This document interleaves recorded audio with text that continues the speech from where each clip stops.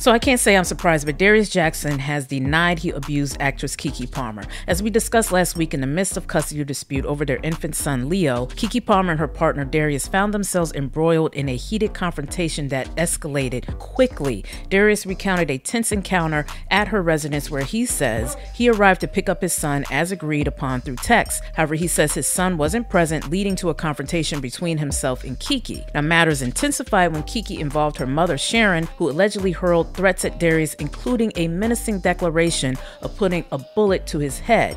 Darius shared the audio of Sharon saying this to him exclusively with TMZ. Where's my baby? You better, you better watch out. Where's- You might get a This violent interaction between Darius and Keke was also captured, and as reported earlier, Keke submitted the visual footage via her security camera and was then granted a restraining order against Darius. Now, despite Keke's claims in the visible altercation, sources close to Darius have told media that law enforcement responding to the incident found no substantial grounds for Darius's arrest relating to domestic violence. No report was filed. Well, that's Darius' side, and I will say women who are abused are not always protected well by law enforcement. But moving on, the situation deepened as Darius's mother also has gotten involved, reacting to Sharon's alleged threat against her son. Darius's mother reached out to Sharon via text concerning the alarming statement made during the confrontation, and this is what she had to say. She said, "Hello Sharon, how are you? I have tried not to get involved in my son's personal business, but I heard that you were going to put a bullet in my son's head. Well, then now we have to involve the authorities because you don't respect or value yourself and I can see that now in my son's life. You might have to, all of us, I will file a police report on you now. And then Sharon replied via text saying, Please do not contact me with this ridiculous childish behavior. Your son choked his own sister. Deal with his anger issues. If he attacks my daughter in her own home where she pays the bills, he is trespassing and anything can happen, so he should stay away. You should be very ashamed to have raised a man who fights women. Sharon also responded to the leaked phone call of her yelling and allegedly threatening Darius, and this is what she had to say here. She says she feared for her daughter's life, and she added, You will hear him being told to leave several times. The point where I am cussing came in after two minutes of him refusing to leave. Sharon also claimed that Jackson recorded her illegally as he did not have her consent, which is required under California law. She further alleged that Jackson does not care about the law, and most abusers don't care about the law. And as I said before, I'm continuing to keep Keke lifted, hoping she gets through this ordeal unharmed and that she and her son can move on and live a happy life and also get some counseling on what she has experienced so that she can hopefully prevent herself from experiencing this again. Now, as for Darius, again, he denies the abuse allegations, but if it's true, I hope he too gets the counseling and perhaps anger management he needs so that he hopefully no longer abuses women. Now, in other news, Tamar Braxton took to her Instagram yesterday to address the Chrisean Rock and James Wright issue. Now, for quick background, Chrisean has been accused of assaulting James, who's Tamar's friend and background singer. She apparently assaulted him backstage during the Tamar Braxton concert. Chrisean allegedly was to be a surprise performer at the concert, and what started as a fun moment quickly went left when her time on stage didn't go as expected.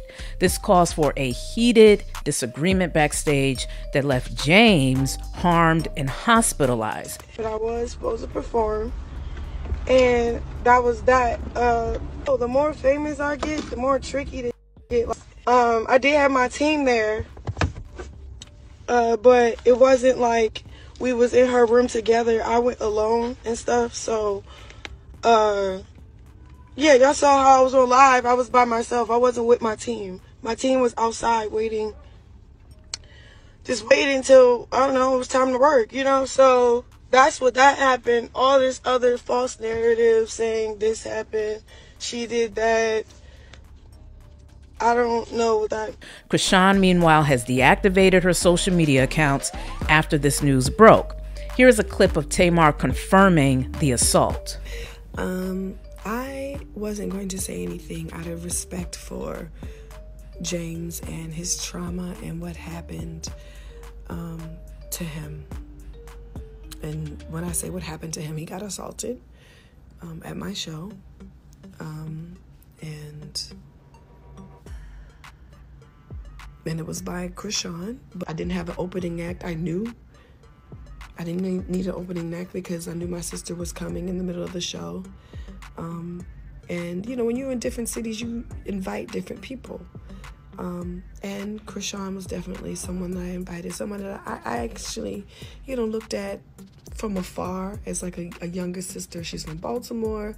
Um, I knew that she was rowdy. You know, I, I, didn't judge her because of that. You know, I felt for her on, so many occasions, and I just felt like, oh, this was somebody I wanted to meet to, you know, possibly take under my wing. I didn't call Chrisean to open up for me, uh, but when she was in my dressing room, we do a twerk off portion, right? And I was like, oh, it'd be cool if you, if the DJ played as a vibe and you came out and did a vibe like the people, you know, Baltimore sisters. And that's really what I was thinking. Um, I think that there was a misunderstanding. I have to apologize to my team if my silence have made you all feel like I have not been supportive to you. Um, and I also want to acknowledge Chrisean. Thank you for your presence. Thank you for coming. You know, I, I, I didn't want any of this to happen. I actually thought that we, you know, could really be, you know, good friends and have, you know, I could be a big sister, you know, to you. And that was my only objective of you coming. Um, I had no other plans. I didn't want to set you up. I didn't tell nobody not to play your music. I didn't. I just want everybody to come and have a good time, and that is really the spirit of it all. Um, but I have to acknowledge my team because my team has been traumatized, and especially James. He was assaulted, and he was hurt.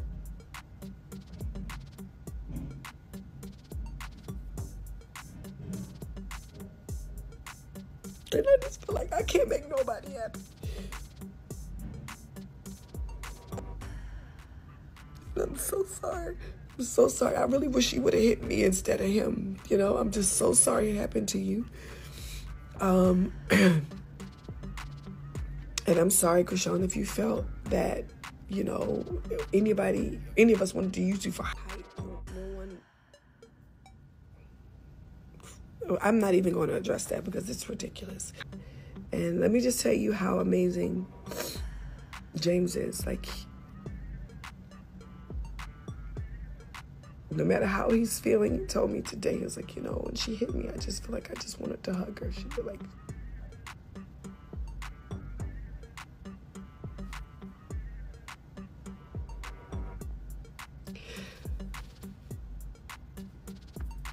I'm just really sorry that it all happened. And Tamar also hit up her Twitter, and this is what she had to say here. She said, I'm tired, y'all. I don't know about this part two tour. We are all hurting, and if I didn't say anything, I'm wrong. I said something and I'm lying. I'm tired. Meanwhile, James is at the dentist getting new teeth. Y'all leave me alone. I was going to try to show CR love. I still think she needs hugs and real people. Now, for me personally, I like how Tamar is acknowledging the pain of her team, particularly James, but also acknowledging the pain Chrisean must be going through to allegedly react as she did simply because she didn't perform. That's a deeper issue. Yes, we can go in on people online, but ultimately, people are human beings who may be dealing with issues unspoken and they then act out and ultimately may harm others in the process. Now, that's no excuse for her alleged behavior, but I do like that Tamar and apparently James acknowledges that Chrisean's issues are bigger than this unfortunate incident. But one thing needs to be clear